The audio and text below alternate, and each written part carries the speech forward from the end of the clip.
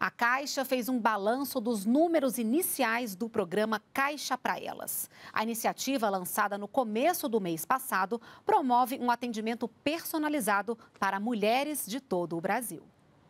Em um mês de funcionamento, o Caixa para Elas já atendeu 60 mil mulheres em agências bancárias físicas e móveis. Já teve 16 milhões e meio de acessos no aplicativo Caixa Tem e cerca de 4 milhões de acessos no site da Caixa, na parte reservada à modalidade.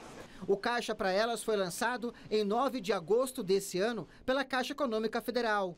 O objetivo é oferecer um atendimento exclusivo ao público feminino, além de orientar sobre prevenção à violência, promoção de educação financeira e empreendedorismo. Produtos e serviços customizados também foram pensados para atrair o público feminino. O banco conta com cerca de 73 milhões de clientes mulheres. Nós também é, formalizamos o espaço Caixa para Elas, um espaço físico reservado, onde esse atendimento é prestado é, com qualidade e com excelência, já em mais de mil agências, né? são 1.003 agências. 8 mil funcionários foram capacitados para o atendimento.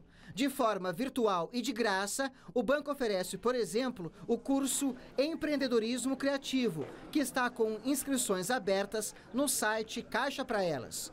E de acordo com a Caixa, 58 mil cartões de crédito pessoa física foram contratados por mulheres em agosto e representam um crescimento de 65% em relação ao mês anterior.